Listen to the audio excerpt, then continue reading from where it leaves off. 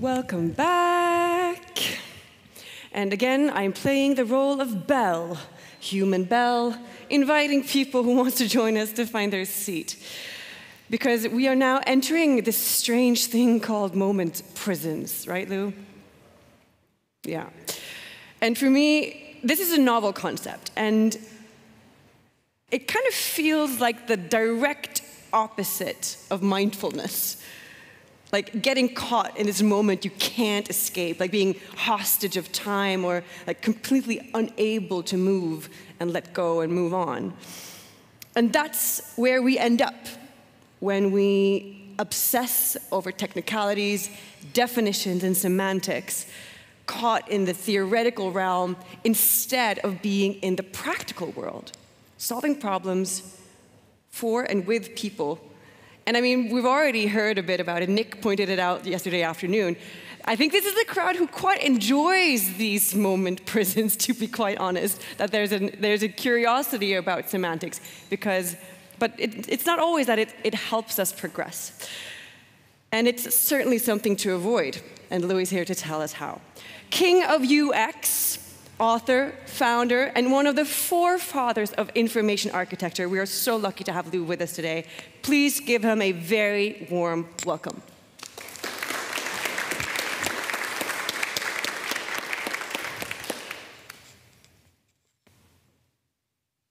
There we go. Can you hear me okay? Well, thank you so much. And that was very brave to try to kind of work through the moment prisons part. I'm still figuring out myself. So I hope we got that on recording somehow. I'll go back to it. Anyway, thank you. Uh, I'm really happy to be here. It's my first time in Vienna, and I've been wanting to go to the Intersection Conference for, well, pretty much since they started, since I heard about it. I love things in intersections, including, of course, all of you. But I want to actually give a special shout out before we get started because it could slip through the cracks when the conference ends. It happens. I want us to give a round of applause for Milan and Wolfgang and everyone who's been involved in this conference really quickly.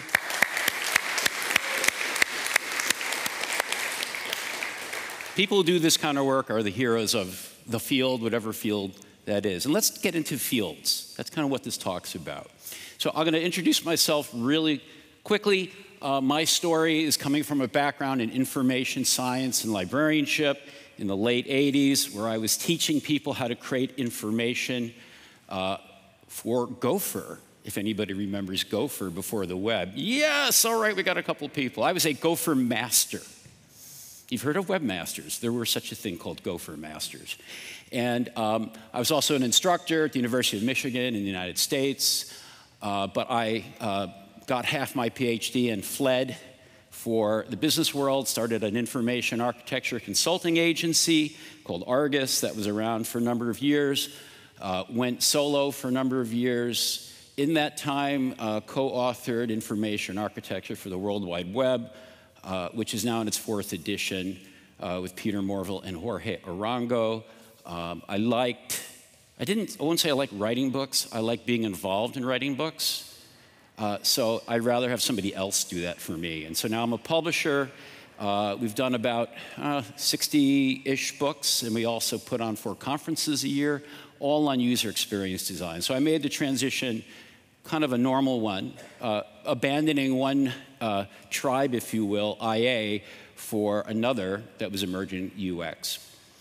And so that's me, moving around quite a bit. But I'm, oh, and also those books that are out in the the room just before the, you enter this area of the conference, uh, those are books, uh, a sample of our books that are for sale. Uh, you're welcome to look at them, even if you don't, you don't, you're not obligated to buy them. I know we're going to be giving some away uh, before the conference is done. Okay, so I want to talk about you. Now, I asked Milan, who's going to be here? What are their job titles? Give me a sense of the audience. And he gave me this idea here. He gave me a list of titles. And it's really quite an interesting list. Uh, some things I'd never heard of, like employee experience designer, although that's not surprising. We'll probably start hearing more and more of that. Some terms I've certainly heard before, but are mysterious to me, like process engineer. And some are very traditional, like HR professional. Um, and it's really kind of a testament to you that you are here. Because most people, if they get to go to a conference, they stay in their lane. So if I'm an HR person, if I have budget to go to a conference, I'm probably going to the HR professionals conference, not this weird thing called intersection. And yet here you are. So I take my hat off to you. Somehow you managed to find your way here. Maybe this is on your own uh, budget. Maybe you paid out of pocket. Either way, you're interested in something more than your home field, than your home tribe. You're also here because enterprise designer is kind of a, a, a cool term that's being really advocated here at this conference. And it's kind of having a moment right now. Enterprise design is this thing that people are excited by. Maybe the reason you're here is that you've been an HR professional or a business process engineer or something else for years and years, but those things don't speak to you any longer or not enough, or you're bored, or you want to get some new ideas, and you found this place, and you found each other, and you found a term, enterprise designer. That's great. And this moment is really exciting because when you come together and with a term and people who also have found it, there's a number of things that you can get that you can't get anywhere else knowledge, identity, and community. So let's take those, uh, let's pull those apart a little bit. Knowledge. You may be familiar with the thousands of years old fable of the blind men and the elephant. Anybody familiar with that? So I'll run through it really quickly.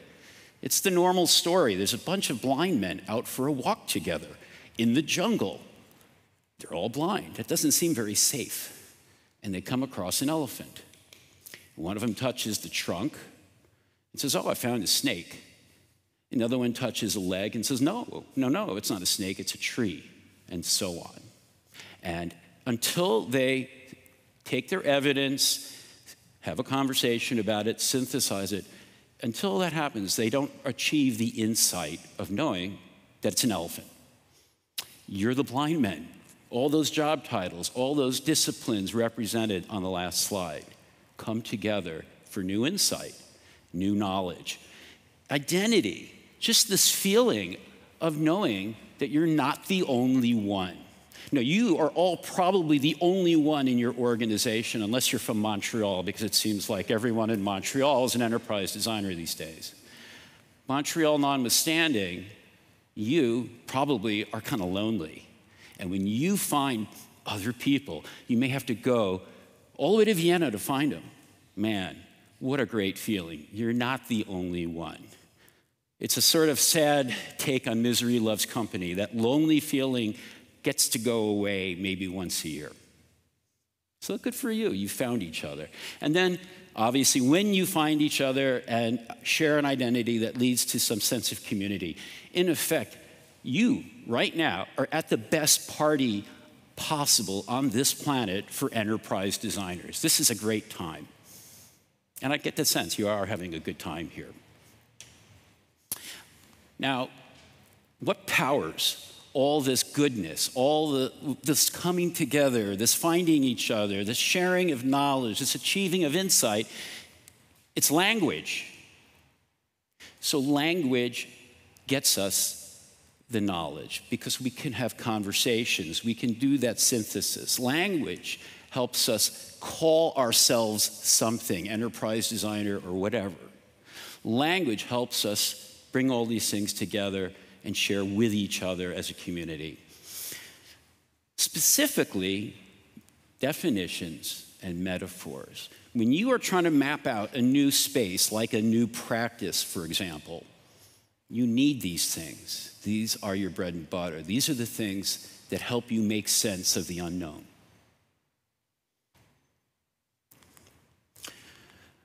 But as you can tell, uh, it has something to do with prison. These, this is my sad attempt to um, digitally draw the bars of a prison. and the kind of prison I worry about for you and for all of us in all these new fields that we work in are moment prisons. What's a moment prison? It's a moment in time that is so good and wonderful that nobody wants to let go of it. And by extension, we build walls around these ideas to the point where the ideas become negative, they may even become harmful. They certainly lose value. But we keep building those towers higher and higher. We keep piling up bricks higher and higher. That's my definition of a moment prison. It's something that was good and is no longer good, but you're, you're sticking yourself in there and you won't let the world in. So, uh, with apologies to Gartner, here's the language hype cycle I whipped up the other night. Um, there's a language trigger, this idea that there's something my home discipline, in this case, doesn't cover. And maybe somewhere, somewhere else, other people might have something to do to help me with it. And it, it rises, people get excited by it, they think it's going to be the next big thing, they get inflated expectations, and then it stops working and starts sinking to the point that it has negative value. It's actually harmful. And that's the region of the misery of moment prisons. And I think that's what I want to caution you about with enterprise design. You are on a journey as enterprise designers. I don't know exactly where you are. I suspect you're on the way up right now, and that's a great feeling. But be advised that when you reach that peak, the drop off is steep and quick. And if you're not looking for it, you'll start building a prison around yourself. So let's dig in a little bit. Definitions are problematic. I think we all know that, but we don't always practice that. Uh, I'm going to tell you my personal experience with the problems with definitions. So, when we wrote this book, people call it the Polar Bear book, the information architecture book. It's got a bear on it because O'Reilly books all have woodcuts of animals. And um, I didn't choose it. I'm really glad it's a polar bear and not a banana slug because they have one of those. Um, the Polar Bear book came out in 98. It sold, I actually just got the numbers, it sold 183,000 copies. That's crazy. I'm a publisher. I wish one of my books would do that well. Um, why did it sell so well? It's not that great a book. It's a good book. Well, because of the timing of the moment was that there were many people from different established professions who were trying to understand information in the context of the explosion of the web.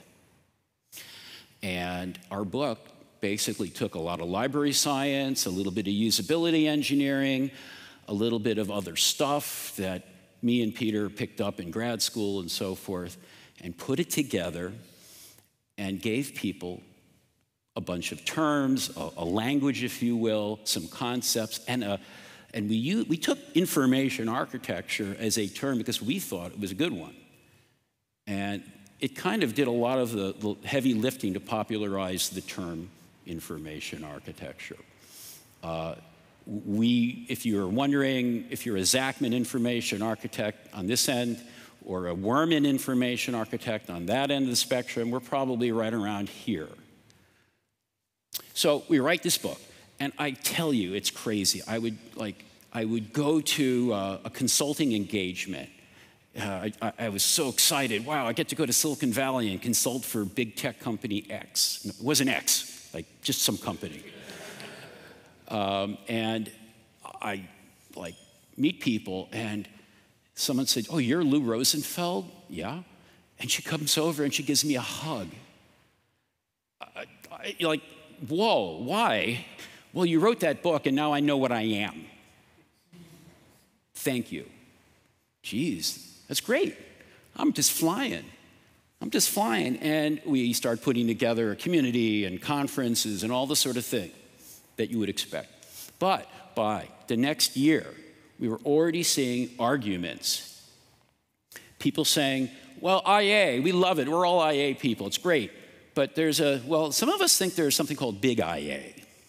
Big IA is like, goes broader, it covers a lot of the UI, it covers a lot of the way people interact. Uh, it's like, you know, it's not just having choices for menus, it's how to design the menus. And there are other people who would say, but we don't even do little IA well, which is metadata and taxonomies and navigation systems and search systems, et cetera, et cetera. And they would argue and argue and argue and argue until the point where people hated each other. They fought. It was like Mac versus PC. It was really terrible. And friendships actually broke up over this division. It's silly. Long story short, a lot of the, uh, the people who um, believed in big IA became interaction designers, and they started an interaction design association, and they were very ascendant for a while. And, but you know, it's, we were all building moment prisons around the term information architecture, and it was problem. Now, information architecture since then sort of took it on the chin. I mean, this is information architect is a job, uh, you know, the job title, basically, the role. Uh, according to Google Trends, it ain't doing so hot. And I'm sure it was doing a lot better even before 2004, which is as far back as they go. And I just mentioned that the interaction designers were ascendant, but you know what? They're not doing so well either. These terms seem to have gotten stale. And if you're in my world of UX, we're all threatened by these guys. Oh no, they're going to put us out of work, the product designers. Um, isn't that terrible? You know, now we have to either change what we call ourselves or reframe everything or, or just retire. I mean, it's insane. We're so like passionate about these terms. For what? I have to tell you, by the way, I searched for enterprise design. I don't really believe this, but that's what I got which makes me always a bit more distrustful of Google, but that's a whole nother presentation.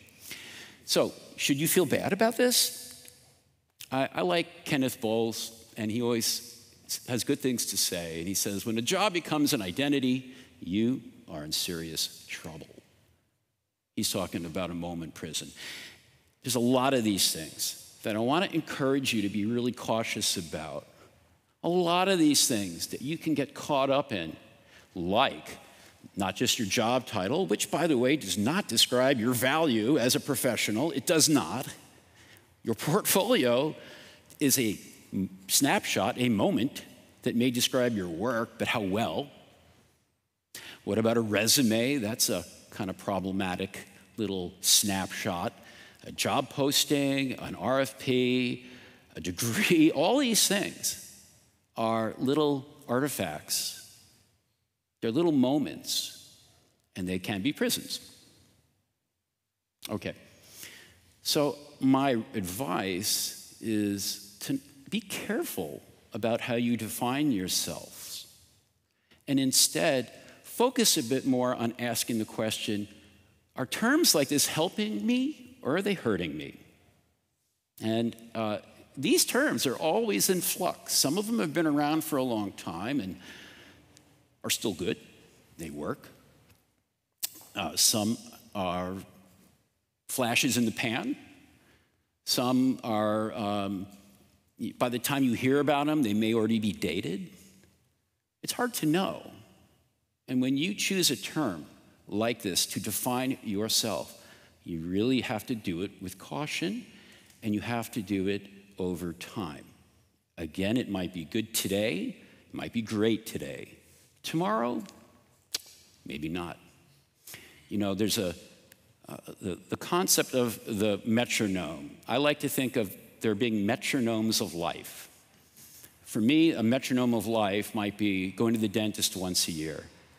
Another, maybe, metronome of life should be asking yourself Am I working with the right label, the right definition of who I am and what I do? I, I would do that once a year, maybe while you're sitting in the chair at the dentist and wondering what else to think about. Okay, I want to also move from definitions to metaphors. Uh, this is a visual metaphor, by the way, of the United States. It's Uncle Sam. And I love this cartoon because it's from, I think it's 1899.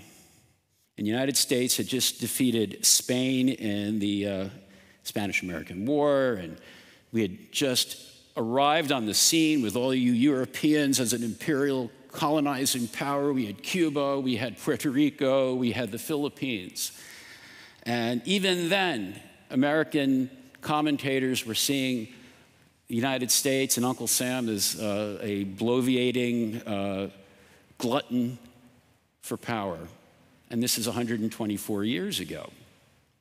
But what do we see, at least in the States, as Uncle Sam? It's still this live, simple, hard work and playing guy from 1861. So these things can break down pretty easily. Metaphors are problematic. Anyone remember Alta Vista? Portal. Remember that word portal? Oh, it's a great word. Ah, portals. Um, I once was an expert witness on a case. It was a $17 million case that, had, that turned on what and how you define a portal. Crazy, crazy case. Wait, but that's a portal. Isn't this a portal? SharePoint, your favorite tool, right? Is this a portal? No, it's not a portal. Sorry, I just like to throw that in. Um, portal. What the hell is a portal? Now, eventually, we stop using metaphors, but it's almost always when it's way, way, way too late. There's a number of metaphors that often show up on lists of terms that really are the most annoying buzzwords of whatever the moment is. And you've seen a bunch of these, like MVP, design thinking, disruption, dashboard. How many of you have been asked to design a dashboard? Probably a lot of the same people who were a few years earlier asked to design a portal. What's a portal? I don't know. What's a dashboard? Can you explain it? But we get asked to do these things.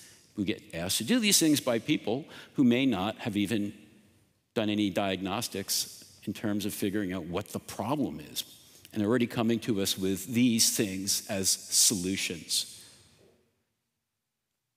So I'd like you, just as you do with definitions, to be careful with metaphors that you use in your professional work. I don't know what the metaphors around enterprise design are. I'm sure there will be some, and I encourage you to use caution. So, what can you do? You should ban words, right? Well, no, you should ban words as an exercise, not a public policy action. So, by this I mean um, portal. What I found when I was consulting was when a client said to me at a meeting, we're going to build, we want to build a portal. And I'm like, well, didn't they hire me to help them figure out what they want to build? Uh, what I would do is I would ban a term like portal.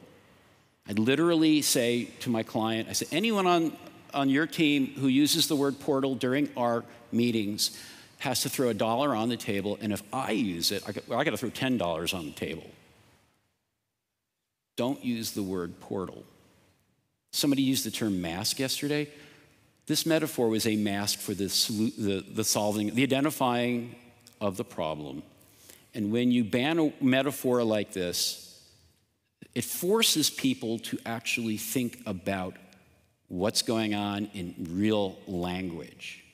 It doesn't allow them to skip ahead, to skip the process of diagnostics to the solution, which is often the wrong one. What words could you, would you love to ban that you are working with today? I wish we had more time because I'd like to hear them, but I want you to at least ask yourself that question. Also, another thing you can do spread the semantic load. What does that mean?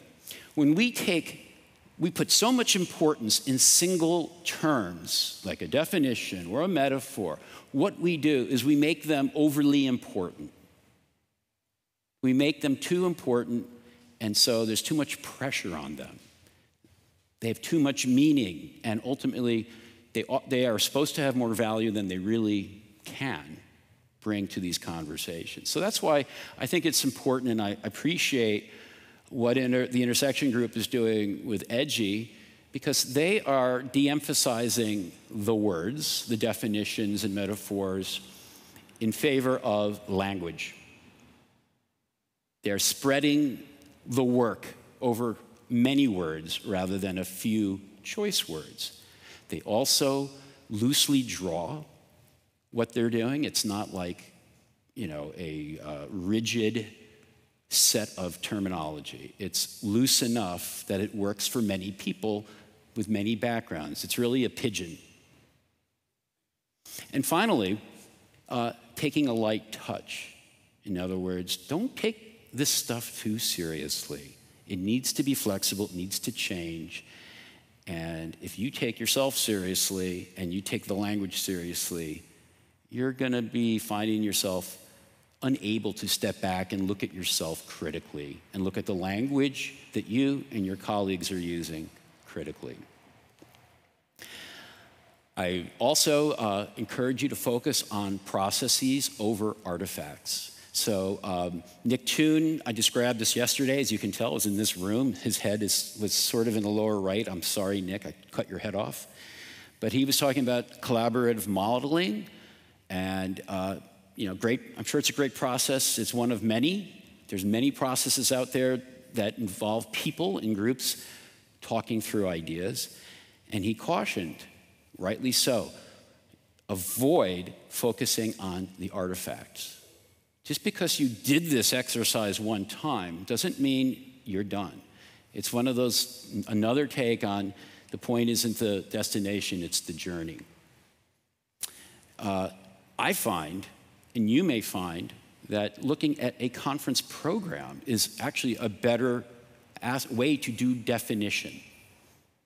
So if you look at, if you want to define enterprise design, look at the program for the Enterprise Design Conference, where we are today.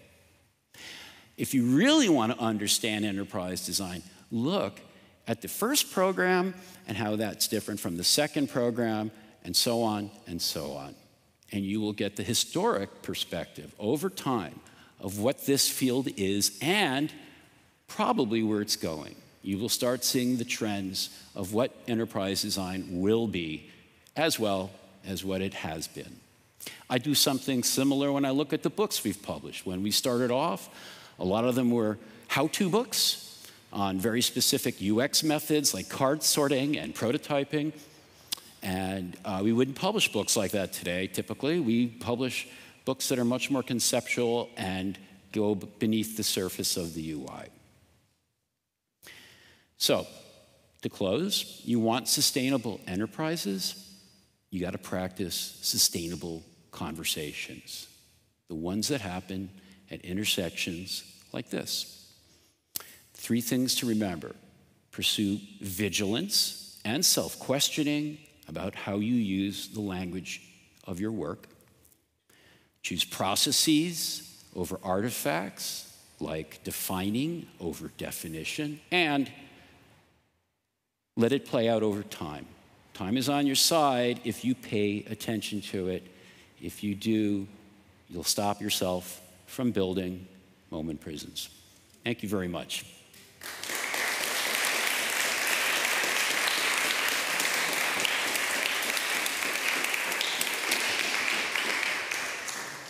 Beautiful. What are we banning? Any examples of words we're banning? Because I think we have time for one question and maybe some examples. So if anybody has something to share, please. Budgets. budgets. Boo, budgets. Add that to the list. Well, anything, anyone else? Which one? New ways of working. Yuck. New ways of working. Theory. Theory comes with its limitations. Yeah? Best practice? Yep. What the hell is that? Anyone else? What? Yes, exactly, exactly. Mm. K- KPIs? Yes. Whoa. And OKRs now, right? Any other abbreviations you want to get rid of? We could go on. And we will. So, uh, with that, I thank you, Lou, for a beautiful presentation. Big round of applause. Thank you.